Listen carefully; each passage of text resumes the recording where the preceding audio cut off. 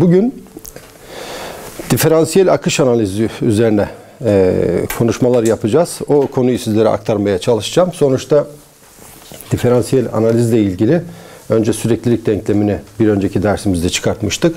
Şimdi ise e, bu e, konuyu kapatmak üzere, tamamlamak üzere diferansiyel momentum denklemini de çıkartıp e, artık CFT için e, gerekli altyapıyı oluşturmuş olacağız. Yani bu denklemleri nasıl ayrıklaştırıldığı ve çözümü nasıl yapıldığı konularını daha sonraki e, derslerimizde görmüş olacağız.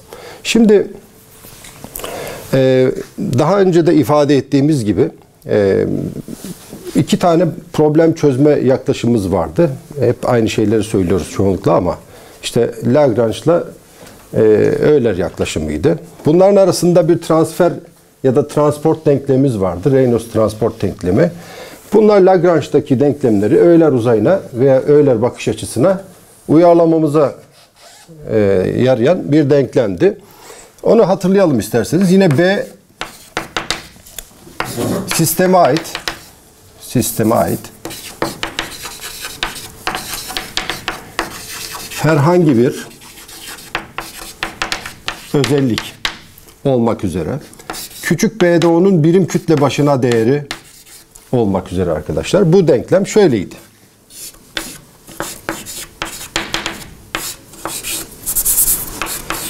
Tabi burada sol tarafta büyük D harfi kullanmamızın özel bir hususiyeti yok aslında. Sadece burasını Lagrange bakış açısını yansıttığını yani bir taneciyi izlediğimizi, parçacıyı izlediğimizi vurgulamak için söylemiştik. Ee, D bölü dt kontrol hacmi B çarpı rho dv artı kontrol yüzeyi B rho V çarpı N dA idi. Şimdi F eşittir M çarpı A. Aslında bizim klasik Newton mekaniğinden bildiğimiz sistem için geçerli. Yani sabit bir kütleye uygulanmış denklemimiz buydu. Şimdi bu denklemi bu transport denklemi yani Reynolds transport denklemini kullanarak Euler bakış açısıyla ifade etmeye çalışacağız. Arkasından da geçen hafta yine e, zarif bir teoremden bahsetmiştik. E, Gauss'un geliştirdiği diverjans teoremiyle. Bunu derhal diferansiyel bir denkleme dönüştüreceğiz ve onun üzerinde biraz daha konuşup konumuzu e, tamamlamayı düşünüyorum. Şimdi e, burada tabi sisteme ait toplam kütleyi ifade ediyordu. Ben eğer ben eğer arkadaşlar burada B gördüğüm yere yani momentum denklemi açısından baktığımızda B gördüğüm yere bu sefer lineer momentum denklemini çıkartmaya çalıştığım için çünkü bu denklem aslında şöyle yazılabilir. Ee, yani şunun m çarpı dv daha doğrusu dv bölü dt dersek m skalerini içeri attığımızda eşittir d bölü dt m çarpı v şeklinde yazabiliriz. Yani aslında bu denklem bizlere sistemin mom lineer momentumunun değişim hızının sisteme etki eden toplam dış kuvvete eşit olduğunu söyleyen bir denklem. Şimdi büyük B gördüğüm yere lineer momentumu alırsam küçük B gördüğüm yere de onun birim kütle başına olan değer yani M'ye bölüyoruz. Bunu almamız yeterli. Şimdi götürüyorum bu denklemde yerine yazıyorum arkadaşlar.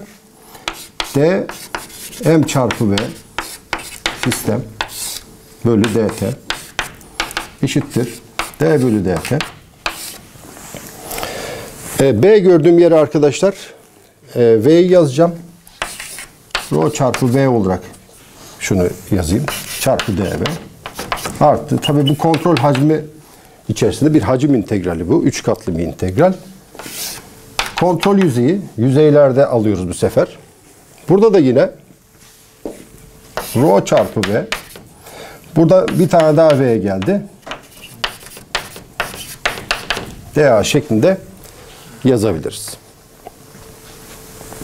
Aslında lineer momentum denkleminin e, Reynolds transport teoremini uygulayarak öyle e, yani kontrol hacmi tekniğine uygulanmış hali sağ taraf. Sol taraf ise yine hala Lagrange. Yani Lagrange'ı öğelere eşitlemiş olduk bir anlamda. Arada bir köprü kurmuş olduk arkadaşlar. Şimdi bu tabi sabit sabit ve hareketsiz bir kontrol hacmi için yazılmış bir denklem.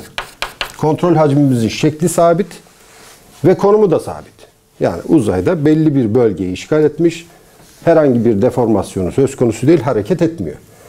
Dolayısıyla matematiksel olarak şunu söyleyebilirim ki ben, integralimizin de sınırları değişmiyor demektir bu.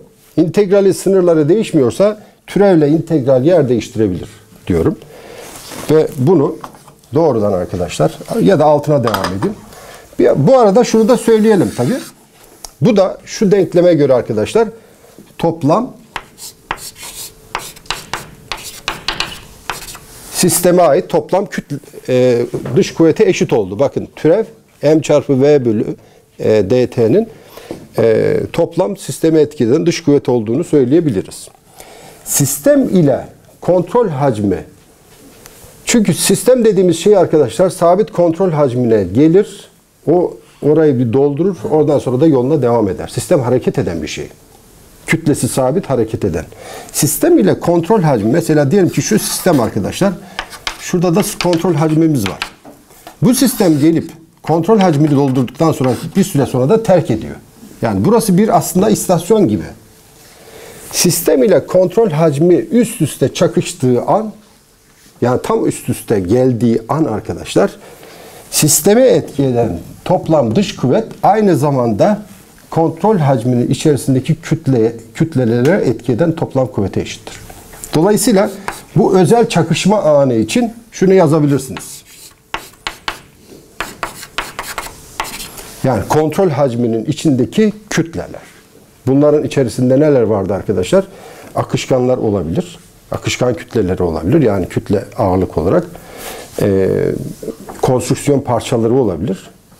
Efendim dış dünya ile olan ilişkiler olabilir. Yani kontrol hacmine etki eden, kontrol hacminin içinde olan her ne varsa onlara etkiden toplam kuvvet, sisteme etkiden toplam kuvveti de eşit olmaktadır arkadaşlar. Eşittir. Şimdi bu dediğimi yapayım. Bunu da içeri alayım. Kontrol hacmi. D bölü e, dt rho çarpı v buraya dokunmuyoruz. Bu integral zaten operatörümüz. Artı buraya da dokunmuyorum. Kontrol yüzeyi rho çarpı v v çarpı n dA arkadaşlar. Şimdi buradaki nokta ile şuradaki noktasızlık arasında bir fark var arkadaşlar. O ikisi biri skala çarpım birin iki vektör yan yana geldiğinde arasına herhangi bir şey koymadığımız bu çarpıma dış çarpım adını veriyoruz. Ona biraz sonra değineceğiz arkadaşlar. Şimdi kontrol hacmini etki eden dış kuvvetleri ise biz daha önce şöyle tarif etmiştik. Bir kontrol hacmine etki eden toplam dış kuvvet arkadaşlar kütle kuvvetleri yüzey kuvvetleriydi. E, bu denklemin sağ tarafı integral denklem olduğu için bunları da aslında integral formunda yazabilirsiniz. Kütle arkadaşlar kütlenin tamamına yani hacmin tamamına etki eden kuvvetler olduğu için bu kontrol hacmi rho çarpı y dv bu da kontrol yüzeyi yüzey kuvvetleri olduğu için onlar da hepsi yüzeye etki ediyor arkadaşlar. Sigma ij çarpı n çarpı dA şeklinde. Biraz küçüldü orası ama artık idare edeceksiniz. Şimdi bunların da hepsini getirip burada yerine yazarsam arkadaşlar dört tane integral e, terimi olmaktadır arkadaşlar. Yazıyoruz. V bölü dt rho çarpı v dv şuraya yazdık. Kontrol hacmi. Sonra geldim bunu yazdım. Kontrol yüzeyi. Rho çarpı v V çarpı NDA eşittir. Artık burayı yazabilirim. Kontrol hacmi rho G dV kontrol yüzeyi sigma ij n dA. Sigma'nın içerisinde arkadaşlar sigma gerilme tensörü diyoruz sigmaya. Gerilme tensörü diyoruz. İçerisinde basınç dahil bütün yüzey kuvvetleri var. Basınç ve viskoz kayma gerilmeleri var. Yani basınç da bir tür gerilme biliyorsun. Newton bölü metrekare. İçerisinde aynı zamanda viskoz normal gerilmeler ve viskoz kayma gerilmeleri de var. Şimdi buradaki integralleri tabii aynı çatı altına toparlayabileceğimiz bir yöntemden bahsetmiştik geçen hafta. O da diverjans teoremiydi. Çünkü şu kontrol yüzeyleriyle belirtilen integraller şayet hacim integrallerine dönüştürülebilirse bu durumda bütün integralleri aynı kontrol hacmi sınırları içerisinde alabilir ve böylelikle de hepsini sol tarafa attığımda hepsini e, sıfıra eşitleyebilirim. O teoremi hatırlayalım arkadaşlar. Diverjans teoremi. Bu Gauss'un geliştirdiği. Diyor ki Gauss bir hacim integrali sigma i j dv eşittir. Kontrol yüzeyinde sigma i j n çarpı dA'dır. Şimdi ne demek istiyor? Ya da şuna alan integrali diyelim şimdilik. Şuna alan dedik. Yani siz bir iki katlı integral yerine üç katlı, üç katlı gerektiğinde iki katlı integral yazabilirsiniz demek istiyor. Şimdi bakıyorum burada zaten sigma e, çarpı n çarpı dA doğrudan var arkadaşlar. O zaman ben şu terim yerine şu terim yerine görüyorum ki burada aynısı var zaten. Bunun yerine arkadaşlar ne yazacağım? Şunu yazacağız.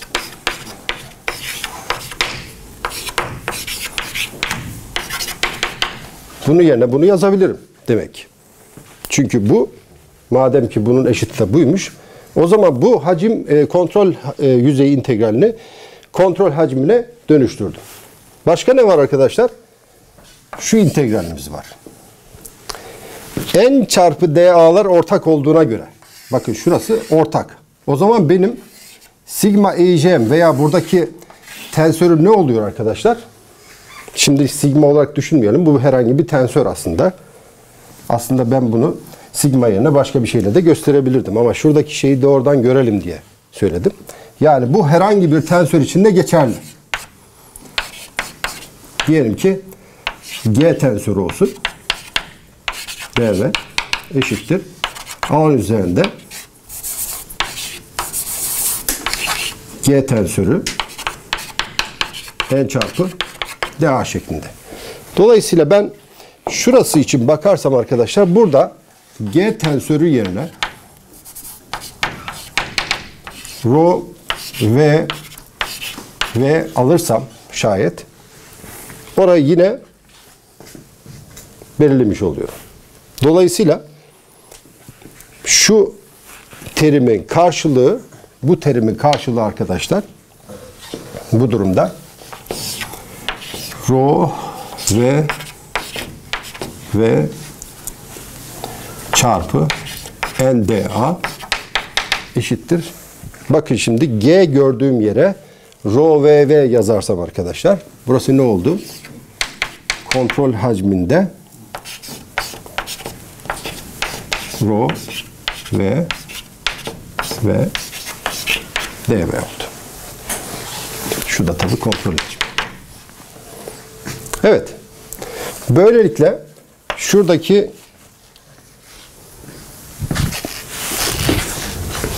Böylelikle arkadaşlar şuradaki yüzey integraliyle şuradaki yüzey integralini Gauss teoremini kullanarak veya diverjans teoremini kullanarak ben hacim integrallerine dönüştürdüm. Buraya kadar var mı bir soru? Anlaşılmayan herhangi bir soru. Sadece şu teoremi kullanarak denklemi yazdım ve yüzeyleri hacim integrallerine çevirdim arkadaşlar. Evet. Şimdi devam edelim. Şuradan yeni rol değiştiren arkadaşlarla beraber hepsi, bütün denklemi buraya yazayım ben.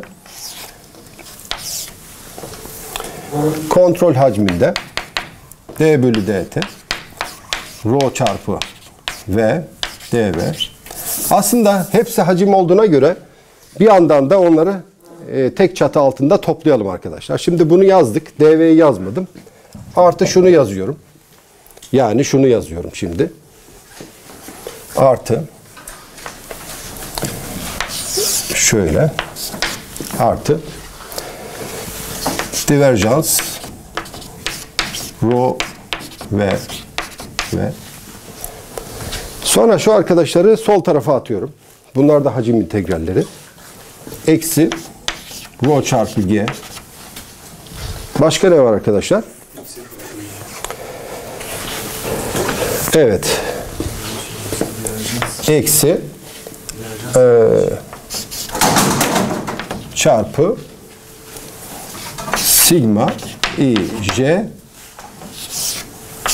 d v eşittir sıfır. Tamam değil mi arkadaşlar? Yine aynı yorumu yapıyorum. Diyorum ki arkadaşlar bu integralin bu integral yani şöyle bir şey var elimizde aslında. Burada bir kapalı kutu var. dx eşittir 0. Herhangi bir hacim için buradaki hacim integrali olsun. Burası da dv tabii bu arada pardon. Herhangi bir hacim için bu integralin hacim ne olursa olsun sıfır olabilmesinin tek yolu var arkadaşlar. O da içinin sıfır olmasıdır. Dolayısıyla ben şu kısmı alıyorum. Burası d bölü dt rho çarpı v artı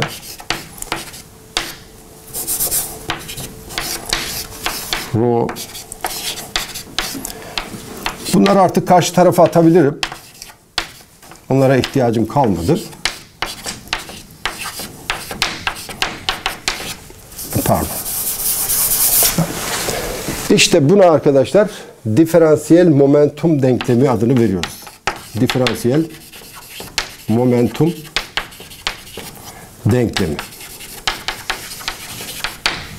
Bakın burada integral terimi falan yok. Tamamen diferansiyel formda ve sol tarafta büyükle ilgili herhangi bir şey görüyor muyuz? Görmüyoruz. Değil mi? Yani parçacıkla ilgili herhangi bir tarif görmediğimiz için buna korunumlu korunumlu form diyoruz arkadaşlar. Korunumlu form diyoruz.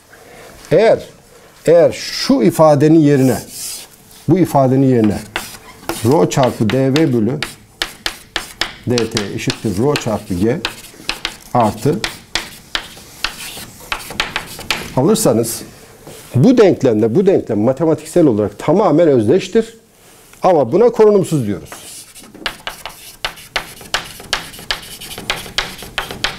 Korunumsuz form.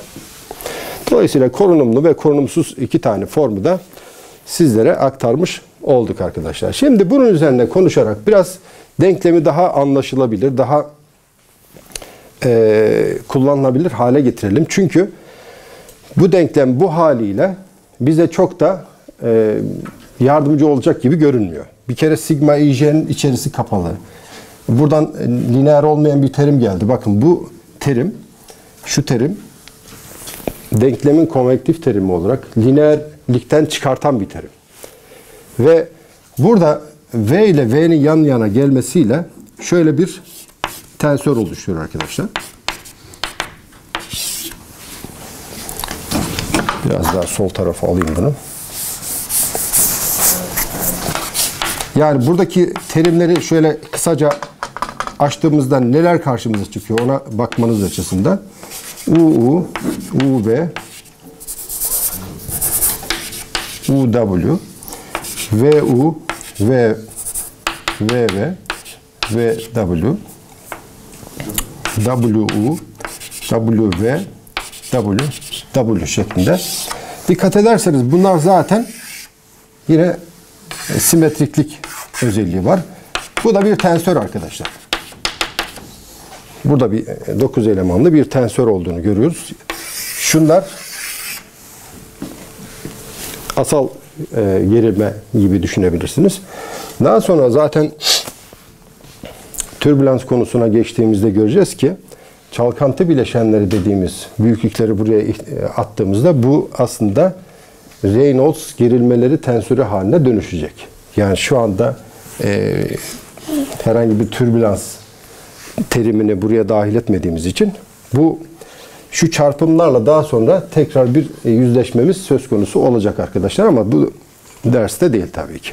Yani ileri safhalarda bu olabilir. Şimdi şu terimi aydınlattığımı düşünüyorum arkadaşlar. Gelelim şu terime. Bu terim neyin nesidir? Buradaki e, gerilme üzerinde biraz konuşmamız gerekebilir. Arkadaşlar buradaki gerilme e, tensörü aslında daha önce bir miktar bahsettik. Şimdi tekrar üzerinden biraz geçelim. Sigma iyice bir tensör arkadaşlar. Belki bu kavramla daha önce karşılaşmamış da olabilirsiniz. Şöyle söylemekte fayda var. İkinci mertebeden bir tensör, iki tane alt indisle, serbest indisle gösterdiğimiz bu büyüklükler. Aslında fizikte e, mesela kütle gibi, sıcaklık gibi büyüklükler vardır. Mesela 3 kilogram dediğimizde 3 kilogramı tarif etmek için başka bir bilgiye ihtiyaç duymayız genelde. Yani 3 kilogram nasıl bir büyüklük? 3 kilogram elma dediğimizde. Değil mi? Bunlara skaler büyüklükler diyoruz. Bir de düşünelim ki bir otobüs var. İşte Ankara'dan İstanbul, Ankara İstanbul arasında 90 kilometre saat hızla gidiyor. Aklımıza şu gelir herhalde değil mi? Acaba İstanbul'a doğru mu gidiyor otobüs yoksa Ankara'ya doğru mu gidiyor? Dolayısıyla bir yön tarif etmeniz gerekir. 90 kilometre saat hız dediğinizde bu sadece büyüklüktür, eksik bilgidir. Yani bu hızın doğrultusu ne tarafa doğrudur, yönü ne tarafa doğrudur bunların belirlenmesi lazım. Bunlara da vektör diyoruz. Ama üçüncü bir büyüklük daha var ki onlara tensör adını veriyoruz. Tensörde de bu sefer büyüklüğün yanında yönü ve de hangi yüzeye etkilediğini mesela gerilmeden bahsedersek hangi yüzeyde hangi yönde ve büyüklüğü nedir? Yani üç tane temelde e, yani hem büyüklük hem de yönüyle tarif etmemiz gerekiyor. Diyelim ki e, bir normal gerilme için veya bir teğetsel gerilme için, kayma gerilmesi için 5 Newton bölü metrekare demek hiçbir anlam ifade etmez. Şu yüzeyde, yönü de şu tarafa doğru dediğinizde bu fiziksel olarak anlam kazanır. Dolayısıyla ben bu türden, tabi bunlara da ikinci mertebeden tensör diyoruz. Tensörlerin mertebeleri 2 ile de sınırlı değil. Üçüncü, dördüncü mertebelerde olabilir. Ama bizim genel olarak fizikte mekanikte karşılaştığımız tensörlerin ekseriyeti e, arkadaşlar e, ikinci mertebeden tensörlerdir. Bu tensörü akışkanlar mekaniği açısından şöyle. Aslında katı cisimlerde de aynı şey geçerli. Burada da aynı şey geçerli. Sigma xx, sigma y xy, sigma xz, sigma yx, sigma yy, sigma yz, sigma zx sigma zy sigma z z şeklinde 9 tane eleman var. Bu bir simetrik tensör. yx ile x y'ler bununla şu ve nihayetinde bununla da bu arkadaşlar e, aynı olduğu için aynı olduğu için izotrop malzemelerde özellikle akışkan e, malzemesi Katı cisimlerden belki hatırlarsınız izotrop kavramını. Madde içerisinde, malzeme içerisinde bir fiziksel büyüklüğün değeri yöne bağlı olarak değişmiyorsa buna izotrop malzeme diyoruz. Mesela ısıl iletkenlik. Şu tebeşirin ısıl iletkenliğine bakalım arkadaşlar. Çap doğrultusunda gidiyoruz. Aynı ama bu yönde gidiyoruz. Farklı. O zaman bu non izotrop oluyor. Yani izotropik özelliği olmayan malzeme demek. Ama her tarafta gittiniz alttan yukarıdan her taraftan gittiğinizde aynı şeyleri ölçüyorsanız buna izotrop malzeme diyoruz. Ee, özellikle bazı polimer çözeltilerini saymazsak ki onlar konumuz dışında akışkanların hemen hepsi izotrop davranış sergiler. Yani yönlere bağlı fiziksel özellik değişimleri olmaz. Gerilme de bunlardan bir tanesi arkadaşlar. Dolayısıyla burada da 6 9 bileşen var. 9 bileşene karşı 3'ü simetriden dolayı aynı olduğu için 6 tane bilinmeyen var. 6 tane bilinmeyen var. Yani XX, YX, XZ şeklinde. Şu 3 tanesi simetrik. Dolayısıyla şurayı toparlarsam 6 tane 6 tane daha bilinmeyen var arkadaşlar. Oysa oysa bu denkleme baktığımda bu denkleme baktığımda mesela rho'yu sabit bile alsak rho'yu sabit bile alsak arkadaşlar bu denklemi çözmeye kalktığımda e, basınç basınç U V ve W şeklinde dört tane bilinmeyenimiz var. Tabi bir de buna süreklilik denklemini de d rho bölü dt artı e, şöyle hatırlarsanız bu da süreklilik denklemiydi. Bu iki denklemi bir arada düşündüğümüzde aslında dört tane dört tane arkadaşlar tabii şunun içerisinde basınç var. Şu anda açık şekilde görünmüyor ama e, sigmanın içerisinde basınç terimimiz de var. Dört tane bilinmeyenimiz vardı. E, üç denklem buradan geldi. E, momentum denkleminden. Bir tane denklem de buradan geldi. Dört bilinmeyene dört denklem çözülebilir bir haldeydi. En azından o sigma olmamış olsaydı. Bir de ne görelim? Sigma dediğimiz büyüklükte 6 tane daha bilinmeyen katmış bu sisteme. Dolayısıyla şu anda benim en az 10 tane bilinmeyenim var. Ama elimde hala 4 denklem var. Akış sıkıştırılamaz olmasına rağmen. Yani akışı sıkıştırılamaz kabul etmediğim takdirde bir de sıcaklık e, parametresi işin içine girecek. Enerji denklemi girecek. Bu nedenle baktığımda benim denklem sayım bilinmeyen sayımdan çok çok az. Denklem 4 tane, bilinmeyen 10 tane. O zaman benim yeni denklemler üretmem lazım arkadaşlar. E, sigma'yı sigma'yı U, V ve W ile ilişkilendiren hatta basınç ile ilişkilendiren arkadaşlar denklemler vardır. Bunlara yapısal denklemler diyoruz.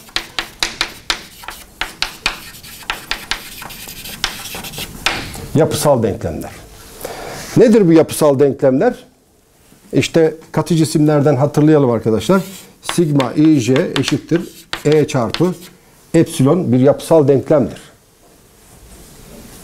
Yani şekil değiştirme ile birim şekil değiştirme ile gerilme epsilon ij diyelim şurada. Birim şekil değiştirme ile gerilme arasında es, elastik malzemeler için yani lineer davranış sergileyen malzemeler için arkadaşlar e, bir ilişki var. Buna Hooke kanunu adı verildiğini söylemiştik. Yani elastik plastik deformasyon yoksa elastik davranan malzemelerde e, bu kanun geçerli. Akışkanlar mekaniğinde de işte buna benzetilen bir yaklaşım var.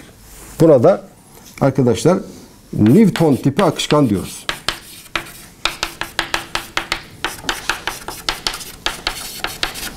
Newton tipi akışkan. Şimdi Newton tipi akışkan dediğimiz kavram aslında kısaca şuraya deformasyon hızı dersek, buraya da gerilme dersek ya da kayma gerilmesi dersek arkadaşlar Newton tipi akışkanların karakteristik özelliği gerilme ile şekil değiştirme hızı şuna ŞDH diyelim şekil değiştirme hızı arasında lineer bir ilişki olduğunu görürüz. Su, hava gibi yakından bildiğimiz birçok akışkanın aslında bu davranışı sergilediğini görüyoruz.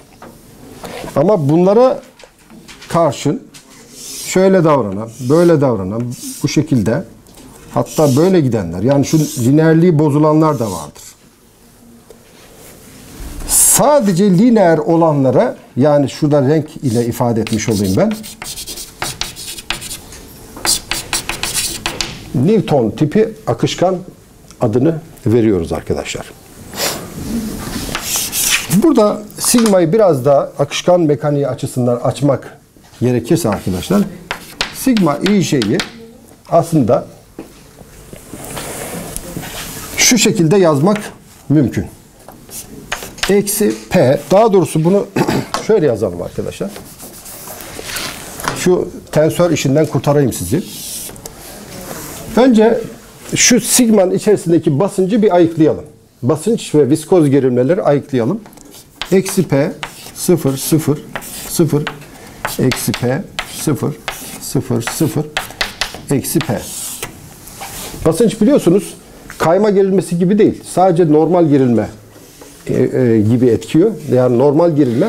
Ama normal gerilmelerde genellikle pozitif yönleri çekme gerilmesidir. Yani yüzeyden dışarıya doğru gerilmeleri, normal gerilmeleri biz çekme gerilmesi e, kabul ederiz. Yani şöyle diyelim ki şurası A ise burası 10 santimetre kare ise şurası 100 Newton'sa arkadaşlar değil mi? Şuraya da bir baskı kuvveti olsun. Şu e, F2 olsun. Bu da 50 olsun arkadaşlar. Newton. Buradaki çekme gerilmesini bulun desek tabi üniform olarak çektiğimizi düşünüyoruz. Kuvvetin lokal noktasal değil de üniform olduğunu düşünüyoruz.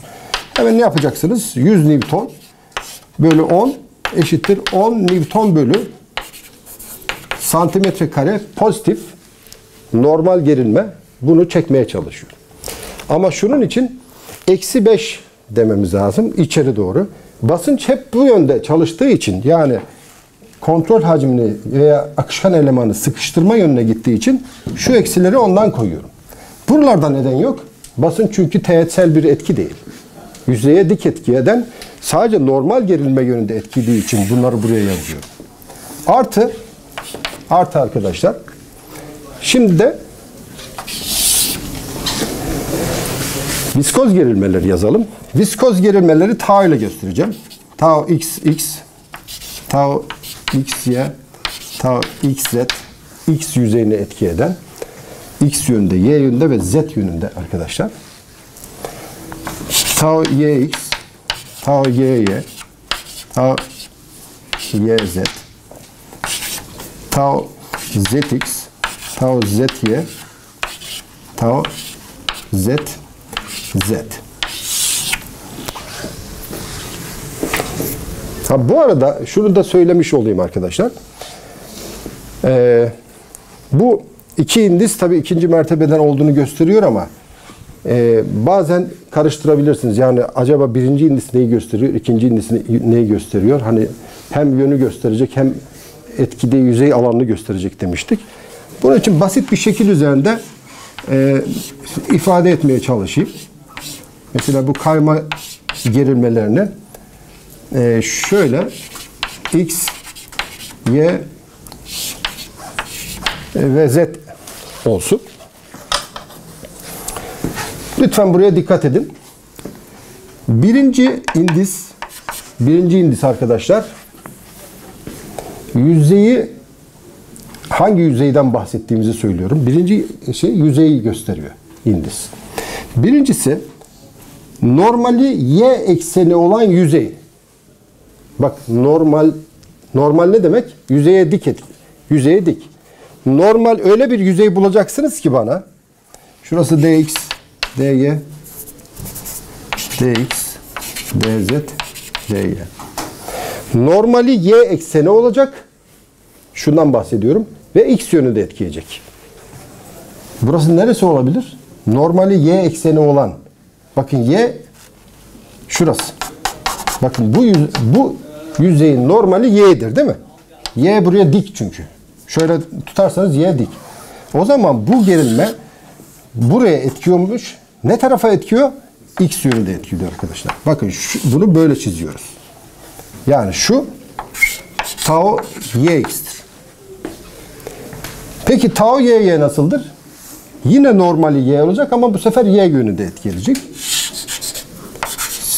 Tau y'ye. Peki bu hangisi oluyor peki? Tau y ekseni ama efendim yz. yz. Peki x y'yi bana söyler misiniz? Normali x ekseni olacak, y yönünde olacak. Şu, şudur değil mi? Tau x y. Bakın dikkat ederseniz tau x y ile tau y x dengeyi sağlamak için e, ucuca geldiler. Peki şu da arkadaşlar doğal olarak tau x x olacak. Bu da tau e, x olacak. Tabii arkadaşlar burada burada şunu da söylemekte fayda var. Bu eksen takımının bir de negatif yönleri var biliyorsunuz. Şöyle. Bir de şöyle. Negatif x ekseni yönündeki gerilmeler de pozitif kabul edilir. Yani şunun tam karşısında şu yüzeye etki eden ve şu şekilde göstereceğim e, tau xx de yine pozitiftir. Yani negatif eksende o negatif eksen yönündeyse, eksenle aynı yönlenmişse bunlar da pozitif kabul edilir. Yani bu pozitif de bu artı diye, e, diye düşünmemek gerekiyor. Bu kadar bilgi şimdilik yeter arkadaşlar. Şunlar şunlar viskoz normal gerilmeler. Şunlar da viskoz kayma gerilmeleri olarak söylenebilir arkadaşlar. Viskoz normal ve viskoz kayma gerilmeleri. Evet şimdi kayma gerilmesi tensörümüz bu arkadaşlar. Toplu halde sigma ile bunu ilişkilendirelim şimdi. Ee, daha doğrusu Newton tipi akışkan için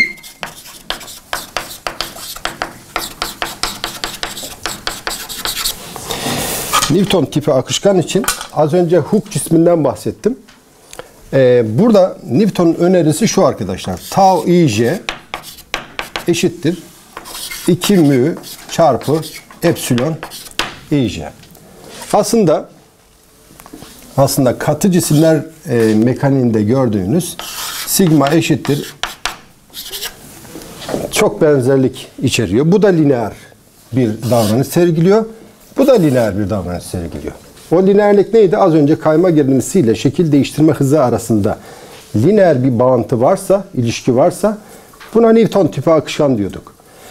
Bunun dışında her ne varsa, yani bu kurala uymayan her ne varsa Newton tipi olmayan ya da non-Newtonian akışkan e, sınıfına giriyor arkadaşlar. Dolayısıyla orada orada bu denklemi kullanmak yerine e, başka ilişkiler önermeniz gerekebilir. Kısa bir bilgi notu paylaşayım. Ee, bizim yaptığımız e, proje araştırmalarından bir tanesinde non-Newtonian davranış sergileyen bir akışkan vardı ve oradaki mesela tau'yu biz e, şu şekilde modellemiştik. İki tane model e, önermiştik daha doğrusu. Artı mu çarpı işte diyelim ki du bölü dy şeklinde. Şekil değiştirme hızı ile orantılı ama bir akma gerilmesi var. Ee, buna Bingham plastiği diyorduk. Dolayısıyla şundan biraz ayrılmış oluyoruz. Bunun bu tarafını alıyoruz ama bazı modellerde var arkadaşlar. Burada tau yield'ı ekliyor. Şunun bu sefer lineer olmayan şeklinde ifadeleri var. Yani artık Newton tipi olan akışkan grubundan çıkıyorsunuz. Newton tipi olmayan bir e, gruba giriyorsunuz ki bu da mesela kan da böyle davranıyor büyük oranda. Newton tipi olmayan akışkan. Diş macunu böyle davranır. İşte nişasta ile su karışımı böyle davranır. Kumlu su böyle davranır. Yani her ne kadar bunlar e, hava ve su neyse ki bu gruba girmiyor. E, bu grupta da çok ciddi manada hem endüstriyel boyutta hem de günlük yaşantıda karşımıza çıkan çok sayıda akışkan olduğunu söyleyebiliriz. Akışkan kinematiğinde bir e, epsilon ij'den çokça bahsettik. İsterseniz onu hatırlayalım şimdi arkadaşlar. Hatta sigma ij'yi sigma ij'yi şu şekilde eksi P yani basıncı ayırdığımızı düşünüyoruz. 0, 0, 0 eksi P. E, 0, 0, 0 eksi P. Şurası basınç grubumuz oldu. Artı arkadaşlar tau ij diyeceğim. E, tau ij için de tabii iki tane mü'yü çarpan olarak başına getireyim. İki tane.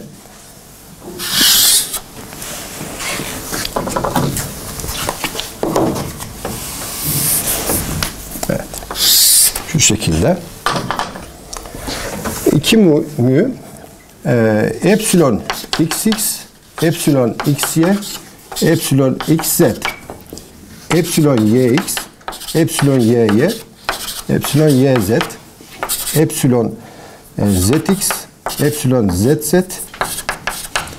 epsilon zy, epsilon zz şekilde ifade edebilirim.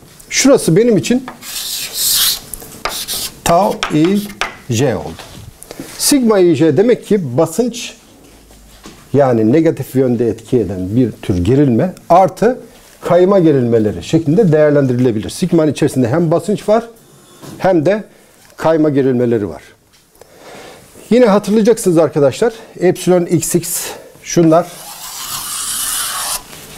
viskoz normal gerilmeleri üreten e, şekil, lineer şekil değiştirme hızlarıydı.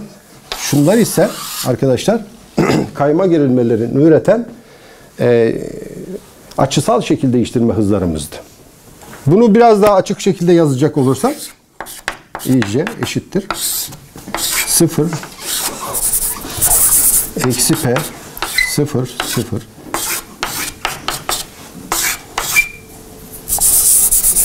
atlıyorum bazen.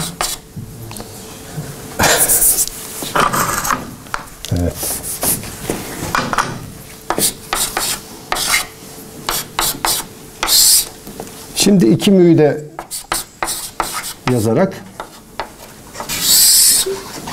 burayı isterseniz birlikte yazalım. Neydi arkadaşlar bu? Epsilon xx du bölü dx idi. x ile y'nin çapraz türevlerinin yarıya bölümünden oluşturuyorduk bunu.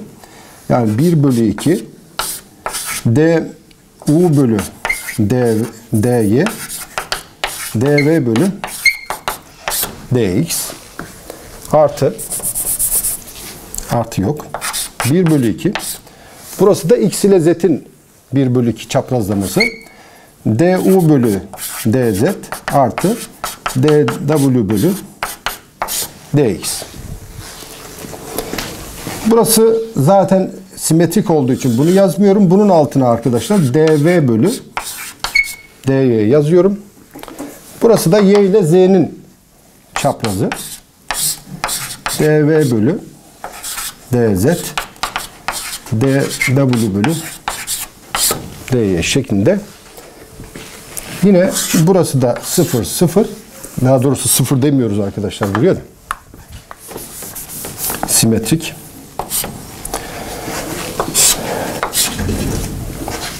Burası da dw bölü dz olmaktadır. Şimdi aslında dikkat ederseniz mesela ben sigma xx'i çok rahatlıkla bu denkleme göre yazabilirim. Şimdi sigma xx'i yazalım mesela. Siz söyleyebilir misiniz bana sigma xx'i? Sigma xx'i buradan nasıl ifade ederiz? Bakın denklemimiz burada. Ne var? Eksi p var. Eksi p var. Artı 2 mü du bölü dx. Sigma xx biliyorsunuz şu ve bunu topladık. Peki sigma y'ye yi söyleyin. Siz söyleyin onu da. Sigma y eksi p Eksi p artı 2 bölü evet dy. dv bölü dy. Sigma z z'i de bir arkadaşımız söylesin. Siz söyleyin. Eksi p D Peki. Şimdi bunlar normal gerilmelerimiz. Normal gerilmeler.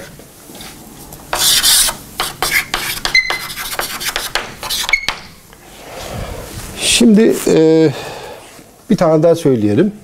Sigma X X y'yi bir arkadaşım söylesin. Burada sıfır zaten. Burada ne var? Bakın 2'nin esprisini buradan da görüyorsunuz. 2 ile bu sadeleşecek arkadaşlar. Ne oldu arkadaşlar? Mü çarpı dv bölü dx du bölü dy o da eşittir. Sigma yx arkadaşlar. Çünkü bunlar simetrik özellik taşıyor. Sonra geliyorum. Sigma xz eşittir. Mü çarpı du bölü dz d dw bölü dx. Bu hangisine eşit? zx'e eşit. Son olarak ne kaldı arkadaşlar? Sigma yz. Sigma yz. O hangisi? Mü çarpı dv bölü dz artı dw bölü dy. Ee, bu da zy. Bakın arkadaşlar az önce 6 tane bilinmeyen var demiştim. İlave gelen 1, 2, 3, 4, 5, 6 tane denklemi basınca basınca U, V ve W hızlarına bağlı olarak e, elde ettim. Ve böylelikle arkadaşlar ben aslında zaten elimde sıkıştırılamaz akış için e, lineer momentum denklemi ve süreklilik denklemimiz vardı. 4 denklemimiz vardı. Momentumdan 3, süreklilikten 1, 4 denklem. Tekrar ben ne yaptım? Bilinmeyen sayısını 4'e düşürdüm. Yani onlar nedir arkadaşlar? P, U, W şeklinde 4 bilinmeyeni 4 denklemi Newton tipi akışkan için çözebilirsiniz. Bir sonraki dersimizde de bunları yukarıda gördüğümüz ki bu denkleme de Cauchy denklemi diyoruz arkadaşlar. Cauchy denkleminde yerine yazarak Navier-Stokes denklemlerini elde edeceğiz.